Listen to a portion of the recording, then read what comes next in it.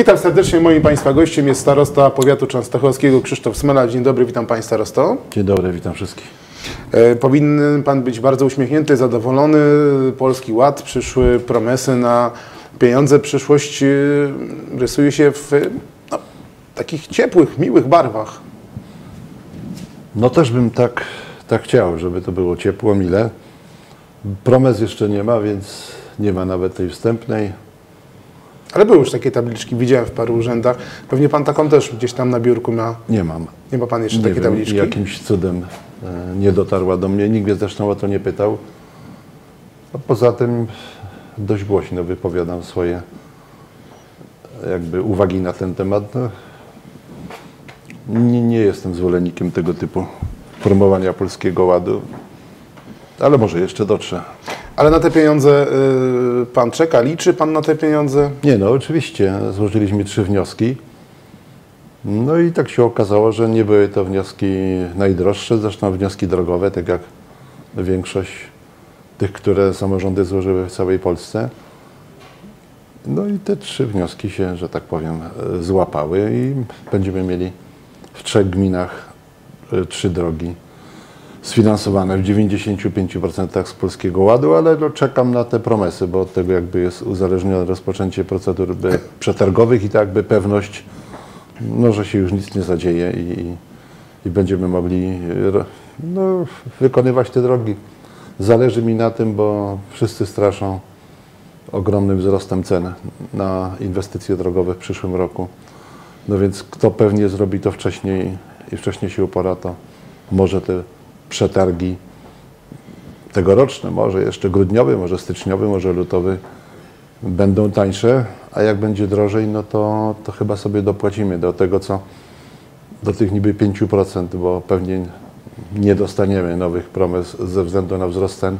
Szacunki były na takie e, no, ta, na Kwoty takie, jakie dzisiaj są. jakie dzisiaj, na te rzeczywiste, a jak będzie, zobaczymy. Aż się boję, co Właśnie być. włodarz z jednej, z jednej z gmin powiedział mi, że no, mm, nawet nie prosił w pewnym momencie o pieniądze, a dostał mm, milion złotych na kanalizację, bo tak wychodziło z jakiegoś tam algorytmu. No oczywiście nie był z tego powodu smutny, ale też mm, nie krył czegoś takiego, że no cóż, dostaje jakieś pieniądze ekstra i to oczywiście go bardzo cieszy. Natomiast y, mówi, że ma problem z poukładaniem budżetu, bo nie wie, jakie będzie miał wpływy. Pan się tego nie boi, panie starosto, bo mówi się o znacznym spadku wpływu mm, z, właśnie z podatków CIT i przede wszystkim PIT, przepraszam, o tym, się, o tym się mówi, bo CIT-u większość firm nie płaci, jak mówią eksperci.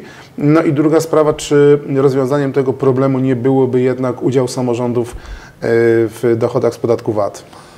Znaczy się no, pytanie, czy się boję. No, nie podchodzę tak e, do tego w kwestii e, bojaźni. Oczywiście no, pewnie tak będzie, że te ceny przyszłoroczne i to, co na dzisiaj jest i inflacja i jakby proponowane albo no, wnioskowane czy zakładane wzrosty cen nośników energii, no pewnie to wszystko spowoduje, że będzie drożej. No ale no, no, czego się mam bać? Pewnie z tego tytułu nowych pieniędzy y, nie dostaniemy. W listopadzie mamy składać nowe wnioski do Polskiego Ładu. Przynajmniej takie są założenia. I pewnie już musimy sobie jakby przewartościować swoje szacunki, zakładając, że no, to będzie to kosztować trochę inaczej. No milion złotych na kanalizację to nie jest jakiś wielki pieniądz.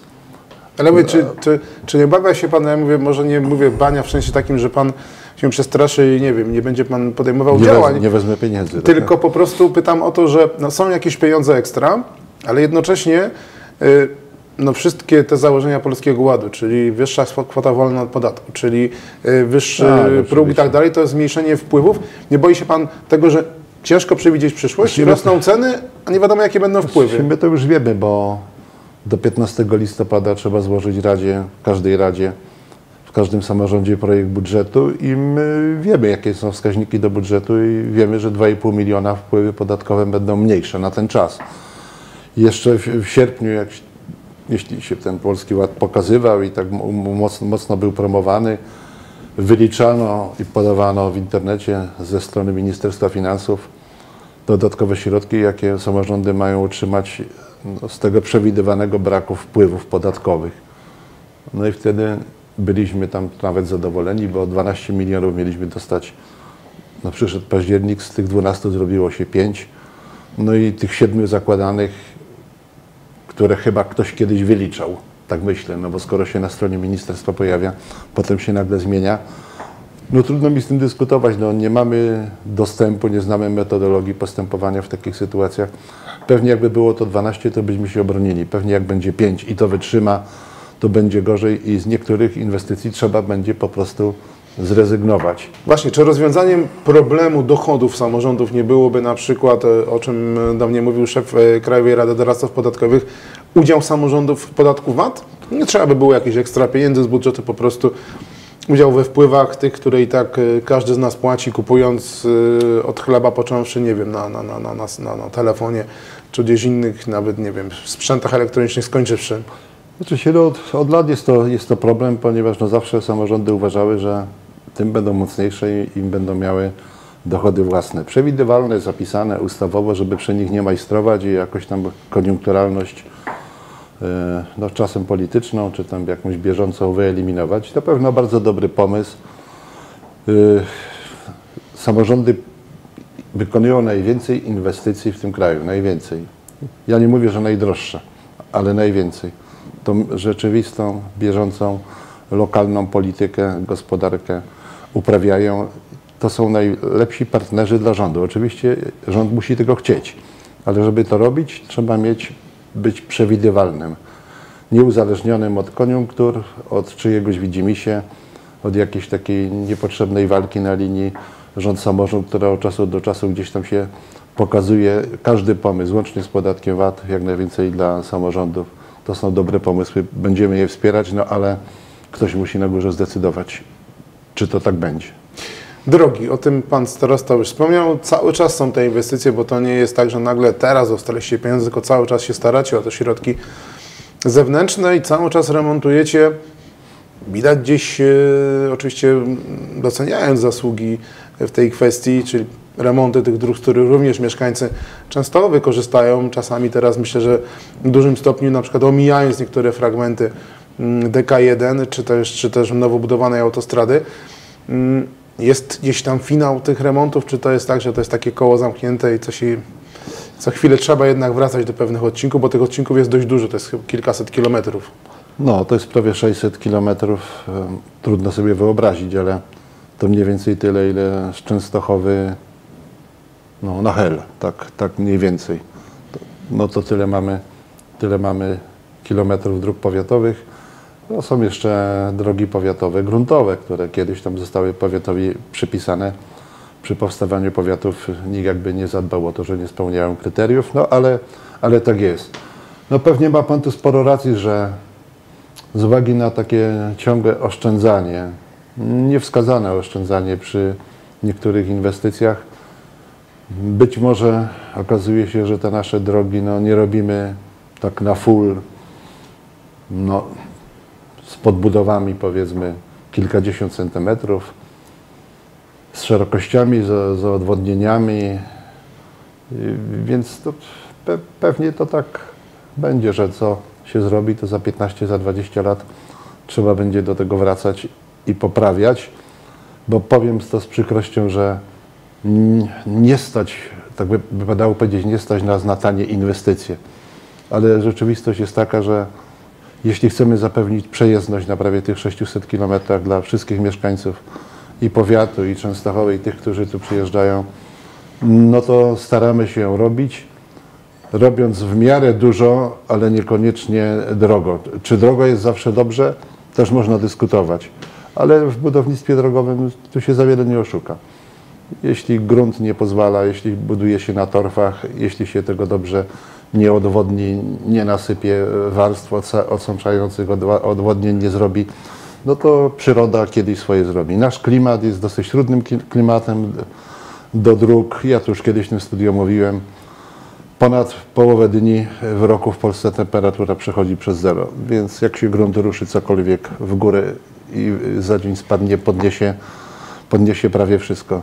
Więc jeśli by miało być dobrze albo bardzo dobrze, musielibyśmy robić gruntownie i to bardzo drogo. Na to nas na dzisiaj nie stać.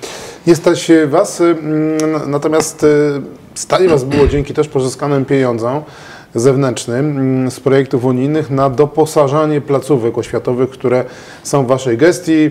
To jest placówka w Koniecpolu, która mm, uczy zawodu, to jest zespół szkół Złotym Potoku, to jest również i też wspieranie specjalnego ośrodka szkolno-wychowawczego w Bogumiłku. No i Bogumiłek to jest zupełnie e, inna ta część edukacji, natomiast te dwie szkoły trochę się gdzieś tam borykały z e, problemem uczniów, to się poprawiło, te inwestycje okazały się być potrzebne, okazały się być magnesem dla młodych ludzi?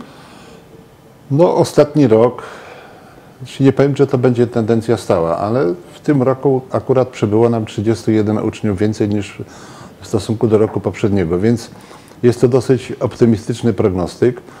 Próbujemy jeszcze publicznym transportem zbiorowym ogarnąć niektóre gminy wokół tych y, szkół, o których pan redaktor mówił. Być może ten dobry transport zbiorowy dla potencjalnych uczniów, on się gdzieś przyjmie, gdzieś się tam zakorzeni w świadomości mieszkańców, rodziców, opiekunów i być może jak dostrzegą, że szybko dojedzie, bezpiecznie, w dobrym komforcie do szkoły. Tym bardziej, że w Złotym Potoku to jest jeszcze internat i tutaj też mamy jakby pomysły na, i na Polski Ład i nowe środki unijne, bo zarówno w Koniec Polu, jak i w Złotym Potoku podejmujemy kroki, żeby uruchomić nowe kierunki kształcenia związane z energiami odnawialnymi. Nazwać to można różnie, ale marzy nam się coś takiego jak powiatowe centra kształcenia w energiach odnawialnych. To trzeba powiązać z elektryką, z energetyką, e, z informatyką. Trzeba się rozejrzeć za kadrą, więc podejmiemy rozmowy z naszymi uczelniami. I też jest kwestia naboru, czy takie zawody jak technik energii odnawialnych, możliwość kształcenia potem na poziomie inżynierskim na studiach wyższych w Częstochowie czy gdzie indziej, czy to chwyci. No, musi być e, sporo, sporo No, prom- pewnie, promocji. na pewno będzie sporo promocji potrzebne, ale zawód pewnie przyszłościowy. Więc myśmy już pracę rozpoczęli. W tej chwili jestem po rozmowach z dwoma firmami, które mają nam złożyć koncepcję, jakby to widzieli. To ma być coś nowego, zachęcającego, takiego jak się wchodzi i obejrzy te pracownie, te biura, gdzie ma, mają się kształcić technicy, bo to są poziomu średniego, to w zasadzie każdy powie, no fajnie, chyba będę się tu uczył. Jak jeszcze rodzice to zrozumieją i dyrektorzy naszych szkół, przynajmniej tych bliższych i ta promocja ma tam do nich dotrzeć. I, i, i- kadra będzie wystarczająca, a może perspektywa kształcenia, a może perspektywa staży i pracy w jakichś tu firmach naszych lokalnych. Spróbujemy to zrobić, jakby d- próbując sięgnąć po te środki unijne, niekoniecznie tylko drogowe bo to nasz, nam się już to jakby tak trochę spowszedniało. Drogi, drogi, drogi wiadomo, Czyli inwestycje tego kolejne w oświatę. kolejne w oświatę i zobaczymy jak nam pójdzie. Ja jestem tutaj optymistą, mam już taki zespół roboczy w starostwie, będziemy szli do przodu w tym temacie. I tutaj Pan przed momentem e, poruszył już sam mm, temat e, transportu e, zbiorowego, publicznego transportu. Była konferencja w gminie Lelów, która jakby mówiła o uruchomieniu tego. No to się zadziało. E, Cały czas gdzieś tam trwają jednak prace, jak obserwuję, to tam gdzieś się spotykacie, rozmawiacie. Myślicie także o tym, jak ta, ten transport będzie wyglądał w 2022 roku. E, I właśnie zapytam, aspekt mm, pierwszy to jest, y, sprawdziła się ta komunikacja, te linie, to wszystko funkcjonuje tak, jak powinno funkcjonować, czy jeszcze cały czas badacie i modelujecie i zmieniacie to? No akurat jesteśmy w takim czasie, że e, ostatnią środę mieliśmy spotkanie z sześcioma wójtami e, gmin, tak powiedzmy, no, z tego rejonu tam u nas e, wschodniego, tam gdzie ta komunikacja nie jest potrzebna, bo daleko, no, stosunkowo daleko do Częstochowy i tam jakby komunikacja miejska nie dociera. Możemy mówić o pierwszych dwóch miesiącach. Pierwsze dwa tygodnie były trudne, bo nawet te firmy, które no, do, do, dostały powiedzmy to zadanie do realizacji, no też nie, nie, nie, nie, nie zaskoczyły do końca tak jakby to, szczególnie jeśli chodzi o informacje dla mieszkańców. Ale po miesiącu okazało się, że nam pasażerów przybywa.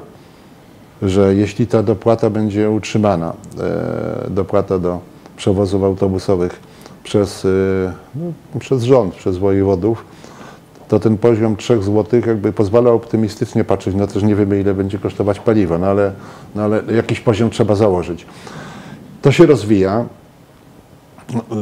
Będziemy modyfikować parę linii, bo wójtowie, burmistrzowie już mają swoje spostrzeżenia, gdzie by tam jeszcze pojechać, gdzie by tam jeszcze kogoś zabrać. Badamy te przepływy pasażerskie. Trudno tu w tej chwili no, powiedzieć co do grosza, jak to się tam kształtuje cena biletów i na których liniach jest gorzej, na których lepiej, ale na pewno do tego biznesu czy interesu publicznego transportu zbiorowego nie dołożymy więcej niż żeśmy zakładali. Podejmujemy rozmowy z gminami, że tam, gdzie będzie trzeba dołożyć linii, bo pasażerowie czekają, bo czasami ciężko ich zapakować no, w, te, no, w te busy czy busiki czy duże, gdzieś tu w okolicy już Olsztyna czy Mstowa okazuje się, że one już jadą tak przepełnione, że, że no, trzeba wymyślić coś innego, coś większego. I takie już są e, sygnały, więc uważam, że to się sprawdzi. E, mieliśmy też rozmowy z przedstawicielami PKS-u, ale na szczęście z kierowcami. Wydaje się, że ci kierowcy chyba e, najrozsądniej podchodzą do tematu. Zobaczymy. Nawet dostałem list od jednego z tych kierowców. Nie upublicznię go na razie, bo dosyć mocno napisany, ale, ale cieszę się, bo to akurat to sedno sprawy, które nam chodziło właśnie y, w relacjach z PKS-em, tam jakby zostało uchwycone. Y, rok 22 już projektujemy. Możemy jeszcze to zrobić w trybie takim, że powierzyć z wolnej ręki, ale po, z wolnej zadania, ale po zbadaniu rynku, po postawieniu pewnych, pewnych warunków i cenowych, i, i takich tam jakościowych, jakościowych czyli na odpowiednie silniki, yy, odpowiednie lata tych auto, autobusów, odpowiednie pojemności. Jeśli firmy spełnią, no pewnie niektóre mają jakieś problemy, bo zawsze jest problem, jeśli wejdzie na jakąś linię drugi przewoźnik, trzeci, nie daj Boże czwarty, no z tego nic dobrego nie wynika. No, biją się cenowo gdzieś tam w dół, potem dochodzi do upadłości niekoniecznie, firmy. Niekoniecznie. Niższa cena to także i dobra tak. jakość dla pasażera. Ale jak na razie na tych liniach jesteśmy pozytywnie jakby tutaj ugruntowani przez te pierwsze dwa miesiące, że trzeba to robić, będziemy to robić, a gminy, jeśli będą chciały z nami współpracować i po swoim terenie więcej pojeździć y, firmami naszymi, jakby może czasami rezygnując z tego, co mają już, zawsze we dwójkę jest łatwiej, no to jak się tam po parę groszy zrzucimy, chcemy im to już powiedzieć w miesiącu listopadzie. I oni w zasadzie mieli to już y, oznajmione i nawet wyliczone.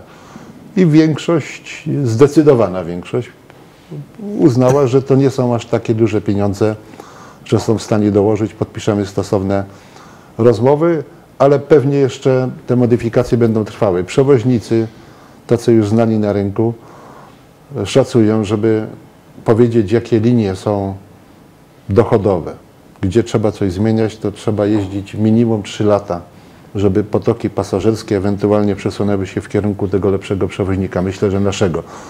My jesteśmy na starcie, więc pierwszymi jakimi niepowodzeniami czy tam modyfikacjami my się tym nie przejmujemy.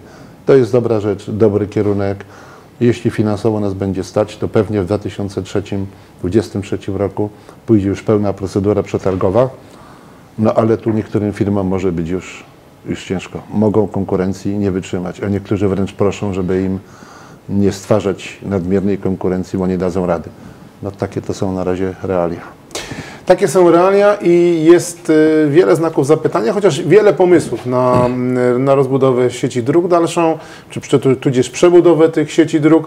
Dodatkowo y, również kwestia rozwoju oświaty, no i tej komunikacji, która jest zbiorowej, która jest bardzo ważnym elementem, ale takie zapytania wynikają z tego powodu, że Jakie będą wpływy, jaki będzie ostateczny kształt budżetu, to też do końca można powiedzieć, chociaż o czym Pan Starosta mówi, taki prowizorium budżetowe już musi być przygotowane, ale jest ryzyko, że nie wszystko się uda, dlatego mm, życzymy, żeby jednak ten 2022 rok mimo wszystko był spokojny, bardziej przewidywalny może niż na przykład ten rok, a moim Państwa gościem był starosta powiatu częstochowskiego Krzysztof Smala. Dziękuję serdecznie Panie Starosto. Dziękuję Państwu, dziękuję Panu.